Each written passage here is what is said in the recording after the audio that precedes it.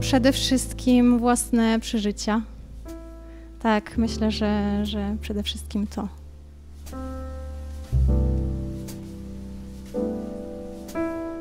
Zdecydowanie tak. Myślę, że przede wszystkim można tutaj wymienić panią Olgę Pasiecznik.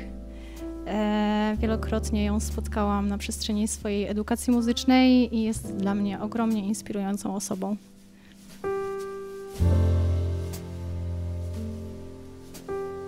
Zdecydowanie impuls. Tak, jestem bardzo spontaniczna e, i najlepsze pomysły przychodzą mi do głowy właśnie wtedy, kiedy dzieje się coś niespodziewanego.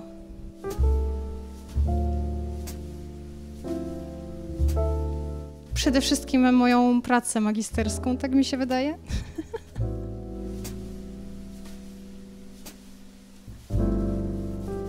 Ciężko odpowiedzieć na to pytanie. Myślę, że byłoby ciężko. Oczywiście miałam parę innych e, alternatyw, jeżeli chodzi o wybór ścieżki zawodowej, natomiast no, już po tylu latach ciężko mi jest sobie wyobrazić sobie inną ścieżkę.